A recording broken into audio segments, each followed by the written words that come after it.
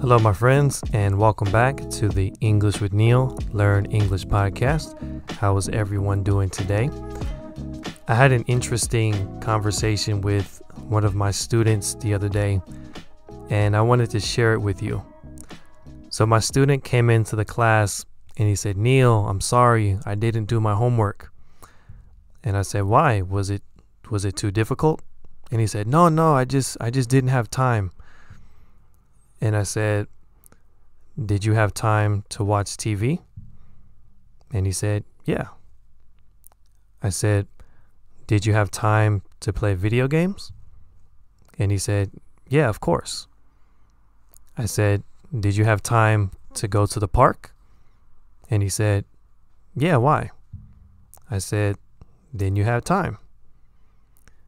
And he looked at me and he smiled a little bit because he knew that I was correct.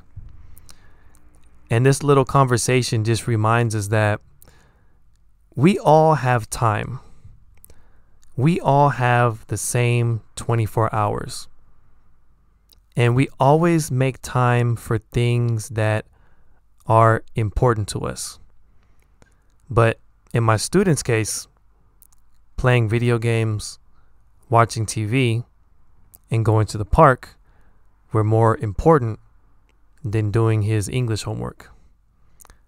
So it just reminds us that we can't make the excuse that we don't have time. We do have time, it's just we don't make certain things a priority. So it's just something to think about. The next time you say, I don't have time, or I didn't have time, or really? You probably had time, but you just didn't make that thing a priority.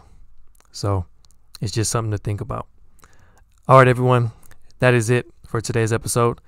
Thank you for tuning in to the English with Neil podcast. I look forward to speaking with you in the next one. Take care, everyone, and talk to you soon. Peace.